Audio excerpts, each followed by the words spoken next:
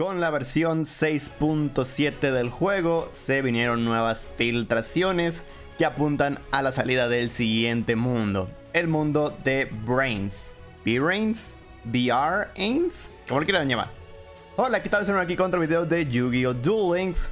Y esta vez vamos a ver un poco de filtraciones, muy pocas pero muy emocionantes. Y estos son un poco de IDs para los links.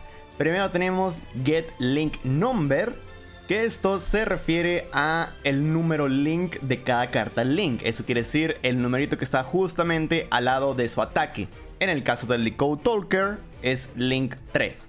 Y también tenemos Get Link Mask, que aquí supondré que es las flechas. Agárrate todas las flechas que tenga para luego ver qué es lo que puede hacer.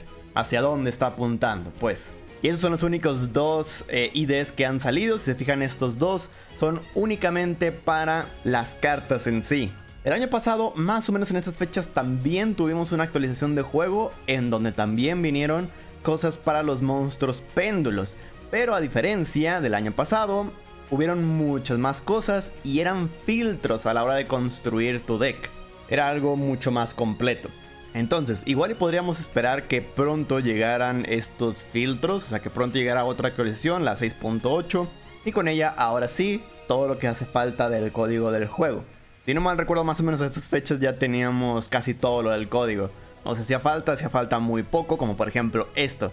¿Y a qué me refiero? Hacen falta dos partes. Una, el campo, todo lo que viene con el campo. Y otra, como ya dije, los filtros para el deck, para construcción de decks. Entonces, un ejemplo de campo, aquí tenemos el campo como aparece en la serie de Brains. Ya sabemos que las zonas extras tendrán que estar entre los dos campos. Y lo que hace falta al código del juego es por lo menos hacer referencia a ellas, así como en anterior hacían referencia a las zonas péndulos. También para que luego ese Get Mask pueda hacer referencia a las zonas de monstruo principal. Igual, no sé cómo ahorita estén eh, las zonas de monstruos principales. No sé si ya dicen zona de monstruos principal o solamente dice zona de monstruos. Digo que al final podrían dejarlo así tal cual. No es necesario cambiarlo porque si el otro se va a llamar de forma diferente, pues ya hacen diferencia, ¿no? Y luego tenemos lo que serían los filtros a la hora de construir los decks. Obviamente tipo de carta, aparte de Exit, Péndulo, Sincronía, tiene que haber una sección de links. Lo más normal y lo más fácil de hacer pero también tiene que haber otro filtro para poder eh, filtrar por el número de links precisamente. Precisamente lo que hace referencia al get link number. Ya sea que lo incorporen junto con el nivel slash rango, ahora slash link. O que hagan su propia sección, así como lo hicieron con las escalas Pendulum. Yo supondré que tendrá su propia sección, ya que, bueno, no hay tantos números de links, no llegan hasta 12. Además que no tienen estrellas, entonces la gente se podría confundir por ahí. Pero bueno, de todas maneras, si pusieron nivel slash rango, que también son diferentes, pues creo que también podrían agregarlo por ahí. Vale, pero sí, esas son las cosas que hacen falta dentro del código del juego, cosas que tienen que salir, cosas que esperamos que salgan antes de que termine junio. ¿Por qué lo digo? Porque el año pasado ahí es donde pusieron lo último de los péndulos.